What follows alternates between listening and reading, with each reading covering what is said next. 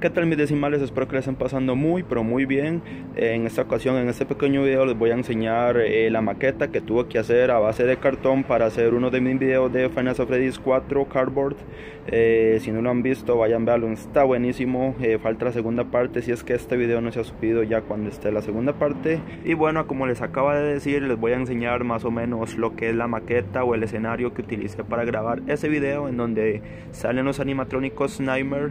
Y bueno, más o menos esto es lo que utilicé, este es todo el conjunto ya que esta, este escenario, bueno en este videojuego no vemos eh, muchas localizaciones, tal vez hay un par de pasadizos, eh, el cuarto que es este que está acá, que más adelante les voy a enseñar eh, más detalladamente. Si no han visto ninguno de esos videos les estaré dejando aquí arriba en las tarjetas para que los vayan a ver, están buenísimos. Y bueno mis decimales empezamos aquí con este pequeño pasadizo en donde se desarrolla el minijuego de Plush Trap podemos ver que está en su totalidad hecho de puro cartón, son cajas en donde pues, vienen muchísimas cosas, cosas que no se mandan por correo, también pueden ser cosas que eh, compramos en el supermercado y pues tenemos que transportarlas aquí para mayor comodidad. Y estas cajas terminan en nuestras casas. Eh, como pueden ver se pueden utilizar cualquier tipo de cartón mientras nos permita una cierta estabilidad como por ejemplo este por esta otra parte podemos ver que está forrado, esto es simplemente cartulina blanca o, papel bond eh, blanco lo pegamos para que quede bastante bonito, bastante prolijo. Aquí podemos ver estos detalles que hice con simplemente es cartulina, no sé cómo le llamarán en otros países, es cartulina de color. Aquí también podemos ver cartulina color azul simulando pues el tapiz, me imagino. Y por esa otra parte podemos ver los pasadizos en donde Plustra juguetea mientras nosotros necesitamos adivinar dónde está para que no nos ataque. Si se les hace muy difícil es mantener todas las piezas juntas mientras pegamos con el silicón caliente, les recomiendo pegar con esta. Yo no sé si en otros países les llamarán cinta para eh, de esas que, utilizan para pintar los automóviles, aquí les llamamos eh, masking tape, ¿sí? Y hay de diferentes grosores pero bueno eso ya sale sobrando. Simplemente pueden utilizar simplemente esa cinta transparente para mantener las piezas mientras las pegamos. Para el detalle de los cristales en las ventanas utilicé este pequeño plástico. Aquí le decimos acetato. Y no no es ese que viene con los discos de música sino es este otro. También lo podemos encontrar cuando compramos alguna figura y viene con un blister. Podemos recortar esto y nos sirve perfecto para simular el vidrio de la ventana como pueden ver ahí Bien mis decimales, por aquí tenemos la segunda pieza de esta pequeña maqueta hecha de cartón. Como pueden ver es la cama. Esta es eh, algo pequeña, simplemente tiene estas dos paredes y el suelo porque en el videojuego esto se vería más o menos, ya les digo, así se vería más o menos entonces no necesitamos hacer ni pared aquí ni techo aquí porque quedaría fuera de la vista de la cámara. Eh, y para la cama también utilicé un, cartón una tira de cartón con una tapa.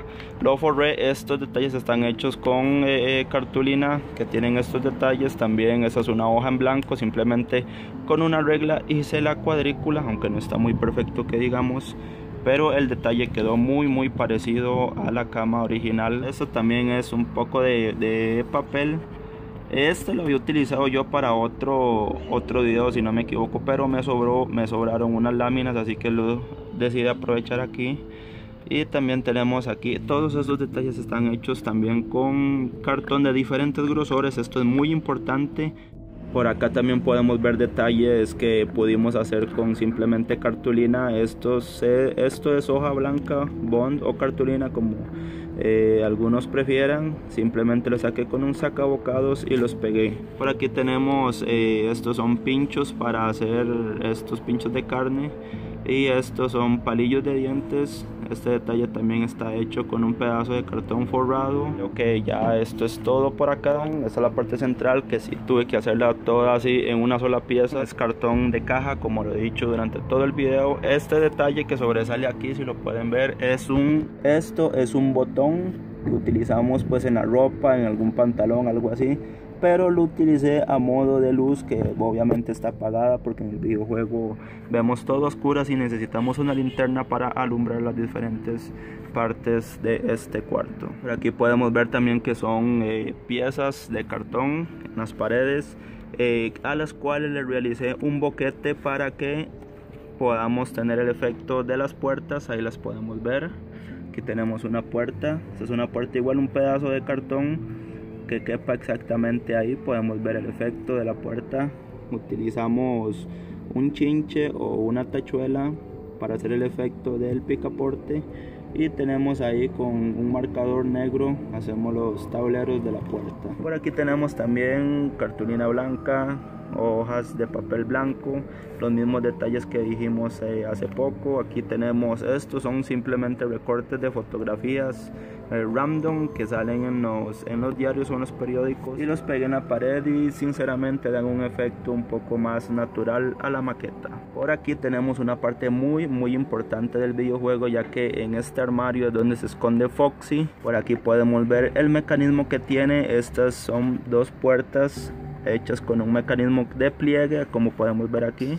Lo que hice fue poner estos dos palos de pinchos aquí que me permitiera utilizar y abrir las puertas a modo de pines. Bien aquí decidí darle vuelta a la maqueta para que lo vean con mayor detalle. Aquí tenemos los dos pines. Este riel aquí que puse es para que estos pines no se salieran de su camino. Entonces a la hora uno de empujar simplemente se abren las puertas para que se me facilitara un poco la grabación y la postura aquí de, del animatrónico Nightmare Foxy. Y para cambiarlo también por el peluche eh, tuve que hacer este fondo del armario que se quitara para no tener que hacer las cosas un poco más tediosas. Podemos ver el efecto ahí. Simplemente quitaba acomodaba el animatrónico hacía la toma si necesitaba que apareciera el peluche simplemente quitaba el animatrónico eh, ponía el peluche y volvíamos a poner aquí el fondo. Mis decimales ya teniendo todo claro aquí lo que es el módulo central del cuarto procederemos a los que son los pasillos en donde tenemos que eh, lidiar con los animatrónicos. Aquí tenemos el mismo diseño que utilicé anteriormente con botones para hacer las eh, para hacer las lámparas que están en el techo. Y por aquí vemos el detalle igualmente en cartón súper sencillo. Ahí tenemos la mesita igual las patas hechas con pinchos para carne. Aquí tenemos eh, el cuadro que simplemente es un pedazo de cartón con una, una foto que encontré en el periódico. Allá tenemos también y esta es una pieza de cartulina de ese color. Igual tenemos el pasillo izquierdo aquí tenemos la puerta simplemente hecha con un pedazo de, de cartulina. Igualmente lo que vimos por acá así en decimales se vería más o menos el efecto que logramos con todas estas piezas de cartón juntas. Por último mis decimales aquí tenemos el pasillo eh, del lado derecho. Tenemos aquí el mismo sistema. Podemos salir por acá.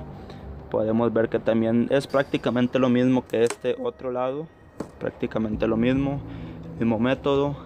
Y por acá sí tenemos las ventanas que podemos ver en el diseño original de este pasadizo en el videojuego de Final Fantasy 4 tenemos los mismos componentes por acá tenemos una mesita de noche hecha con cartón. Tenemos los detalles aquí de las patas con pinchos para carne. Y bueno mis decimales eso sería todo prácticamente espero que les haya gustado este video. Si es así por favor una manita arriba suscríbanse y comenten qué les pareció esto si quisieran ver alguna otra pizzería que de hecho necesito hacer el remake del 1 con los peluches. Algunas personas me han estado comentando que hagan la pizzería del videojuego número 2, pero lo que pasa que los animatrónicos, los muñecos de la Funko, o sea, la los animatrónicos, los toys no existen, la Funko nunca llegó a sacarlos. Así que se me haría muy difícil pues conseguirlos porque obviamente prácticamente no existen. Y los eh, podría agarrar los animatrónicos de la primera de Final Freddy 1 modificarlos pero lo que pasa que aquí en Costa Rica ya esos muñecos no salen. Yo tengo algunos eh, pero fue porque los encontré por casualidad en una compra-venta de juguetes.